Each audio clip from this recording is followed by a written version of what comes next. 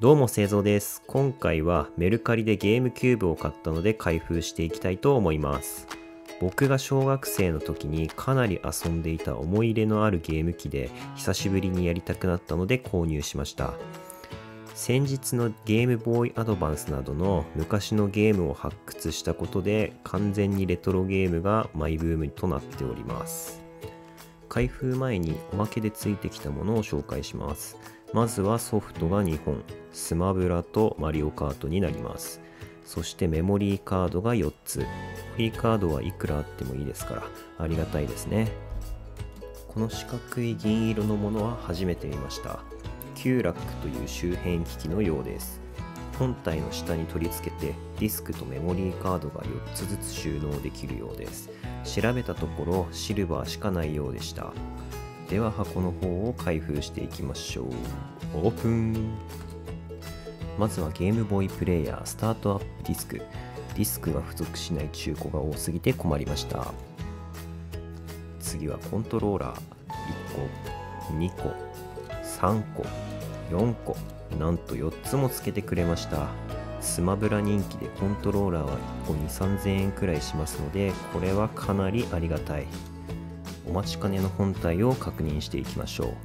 色はシルバーとなります。子供の頃自分が持っていたのは黒だったので、黒で中古を探していたのですが、あまり出てきませんでした。本体はコントローラーの差し込み口のパネルが日焼けなのか黄ばんでいますが、大きな傷や汚れはないので良かったと思います。もちろん D 端子付きのものを買いました。D 端子から HDMI に変換するアダプターを買ったので、こちらの方は後でレビューしたいと思います。そして下にはゲームボーイプレイヤーもしっかりとついています。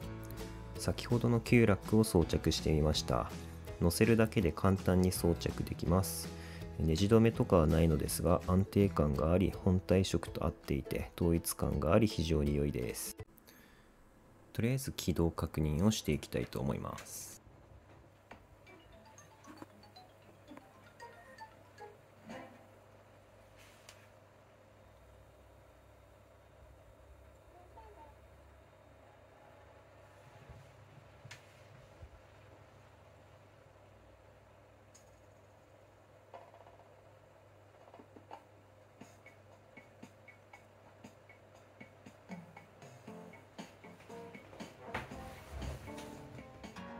無事起動ができてディスクの読み込みも問題なかったので非常にいい買い物ができました。